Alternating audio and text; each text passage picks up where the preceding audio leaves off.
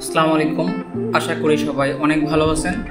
ভিডিওটা ছয় মাস আগের হলেও আপনাদের সাথে শেয়ার করার অনেক ইচ্ছে ছিল। গত শীতে গেছিলাম রংপুর, আমার বন্ধু রাশেদের বিয়েতে। চলুন রংপুরের হাড় কাঁপানো শীতের গল্প শোনা যাক।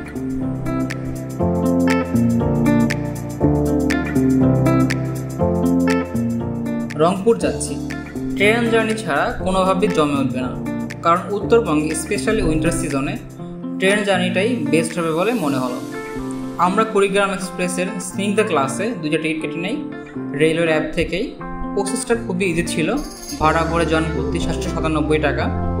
ট্রেন ছাড়ার সময় ছিল রাত আটটা পঁয়তাল্লিশে। আমরা ট্রেন ছাড়ার বেশ কিছুক্ষণ আগে রেল স্টেশনে পৌঁছাই। অন টাইমে ট্রেন ছাড়ে। সব মিলে বেশ ভালো লাগতেছিল। স্পেশালি ভাই ব্রাদারদের বিয়ে হলে মজাটা অন্যরকমই হয়। আমি আর আমার সাথে যে ফ্রেন্ডটা ছিল, আমরা বেশ প্রিপেয়ার হয়ে গেছিলাম। কারণ আমরা আগে থেকেই জানতাম, আমরা যে টাইমে যাচ্ছি ডিসেম্বর বা জানুয়ারি এই টাইমে উত্তরবঙ্গে বেশ ভালো শীত পড়ে।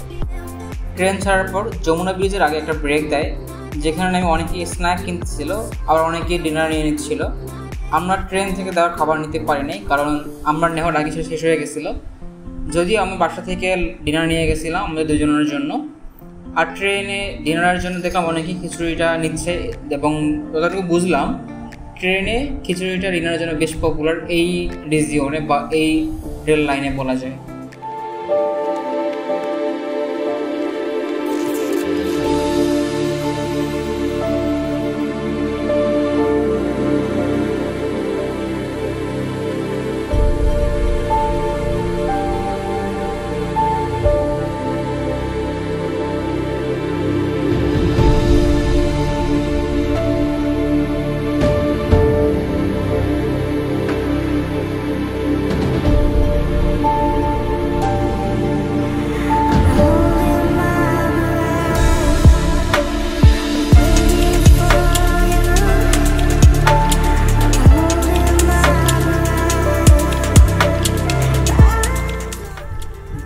ইন্টারেস্টিংলি জার্নিটা অতটা সুখের ছিল না আমাদের জন্য। স্পেশালি ট্রেনের যে ঝকঝক সাউন্ডটা এটা প্রচুর খারাপভাবে কানে এসে লাগতেছিল হয়তো বা আমরা ইউজুয়ালি ট্রেনে জার্নি করি না, তাই হয়তো বা এরকম ফিল হতে পারে। যদিও আমরা এসি কোচে ছিলাম, তাও বেশ ভালোই সাউন্ড হচ্ছিল।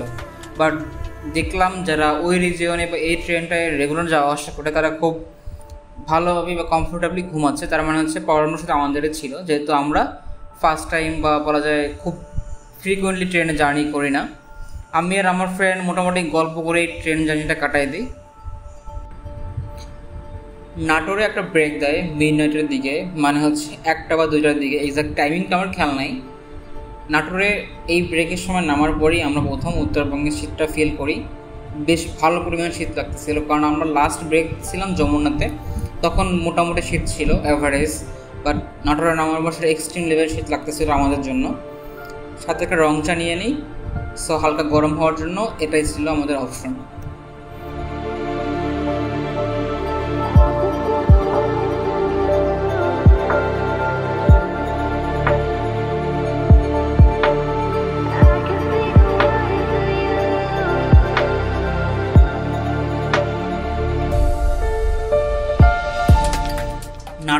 পরে ট্রেন আবার থামে পার্বতীপুরে।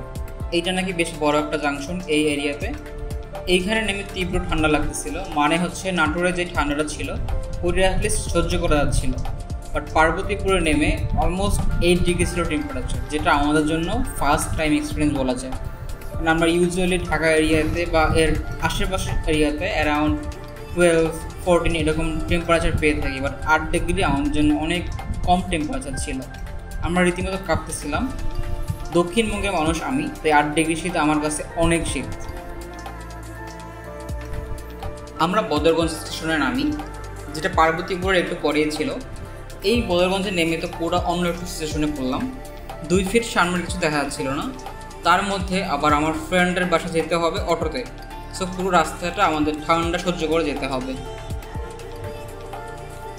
পৌঁছানোর পর একটা লম্বা ঘুম দেই। এবং আমরা বিকালবেলা আমার ফ্রেন্ডের বিয়েতে অ্যাটেন্ড করার জন্য রেডি হই। আমার ফ্রেন্ডের বিয়ে যেই সাইডে ছিল, ওই সাইডটা ছিল একটা গ্রাম এবং গ্রাম হওয়াতে আরও শীত লাগতেছিল। সো খাওয়া দাওয়া শেষ করে আমরা রাতে ব্যাক করি। হালকা চা নাস্তা সেরে ঘুম দিয়ে হালকা একটু। উত্তরবঙ্গে একটা জিনিস খেয়াল করছি স্পেশালি আমরা যেই এরিয়াতে ছিলাম, ওই দিকটায় এখন অনেক বাড়ি মাটি দিয়ে বানানো। আর মাটির ঘরে এমবিয়েন্সটা অন্যরকম। আর দেখলাম সবগুলো বাড়িতেই মোটামুটি ইউ শেপের আর বাড়ির মাঝখানে থাকে উঠান। এই ভাইবটা বেশ ভালো লাগতেছিল।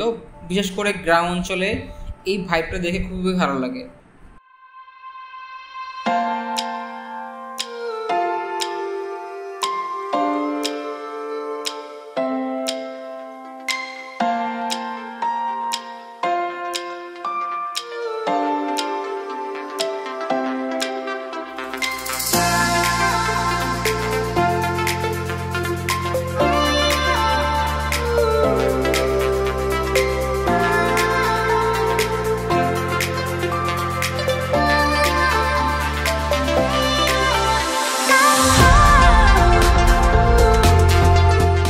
আমরা পরের দিন সকালে উঠে জাস্ট এরিয়াটা ঘোরার জন্য বের হই।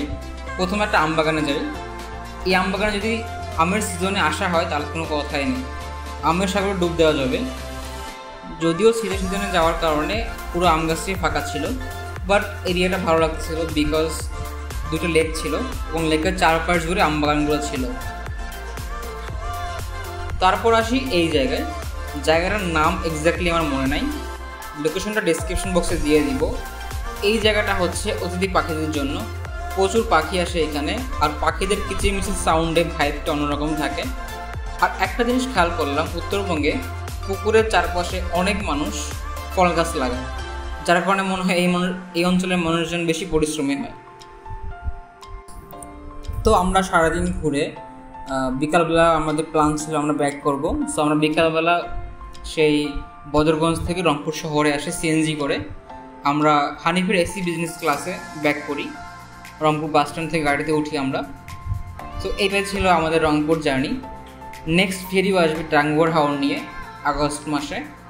তো টিল দেন ভালো থাকবেন সবাই এবং সবাই সাপোর্ট করার জন্য সাবস্ক্রাইব করে রাখবেন। ধন্যবাদ, আল্লাহ হাফেজ।